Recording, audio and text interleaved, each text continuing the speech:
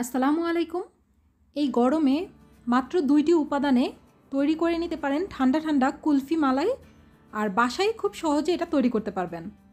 এর জন্য প্রথমে আমি একটা প্যানের মধ্যে দিয়ে দিচ্ছি এক লিটার পরিমাণ গরুর দুধ। এখানে আমি ফুল ক্রিম গরুর দুধ ব্যবহার করেছি।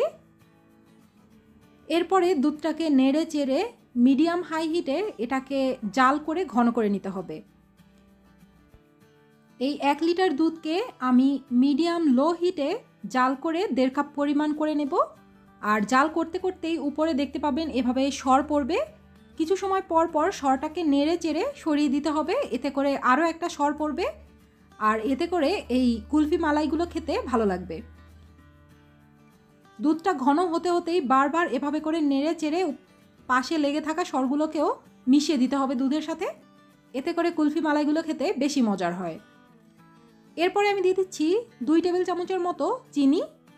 আপনারা আপনাদের পছন্দ অনুযায়ী চিনি ব্যবহার করতে পারেন। চিনিটা দেওয়ার পরেও আরও প্রায় দুই তিন মিনিটের মতো নেড়ে চেড়ে খুব ভালোভাবে মিশিয়ে নিচ্ছি। আমাদের দুধটা কিন্তু এই পর্যায়ে একদম ঘন হয়ে গেছে। তো এখন চুলাটা বন্ধ করে এটাকে নামিয়ে নিতে হবে।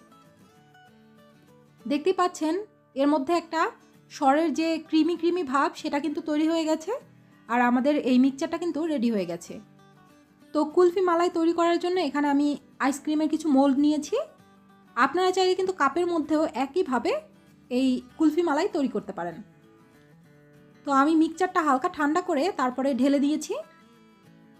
এখন উপরে দিয়ে দিচ্ছি ফয়েল পেপার ছোট ছোট টুকরো করে উপর থেকে ঢেকে দিচ্ছি। সবগুলো কুলফি মালাই আমি একইভাবে ঢেকে দিচ্ছি। একটা ছুরি দিয়ে উপর থেকে একটু কেটে নিচ্ছি। এতে করে আমরা এই উপর থেকে খুব ভালোভাবে স্টিকটা ঢুকাতে পারব।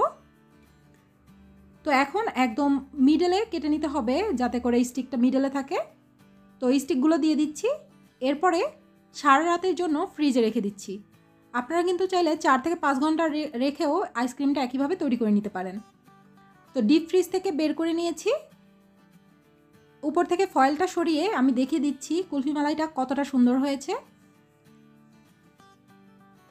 তো হাতের সাহায্যে এভাবে একটু করলেই দেখতে পাবেন মোল থেকে এটা বেরিয়ে আসবে। তো কুলফি মালাইটা এখন আমি বের করে নিচ্ছি। এই কুলফি মালাইটা খেতে কিন্তু অনেক মজার।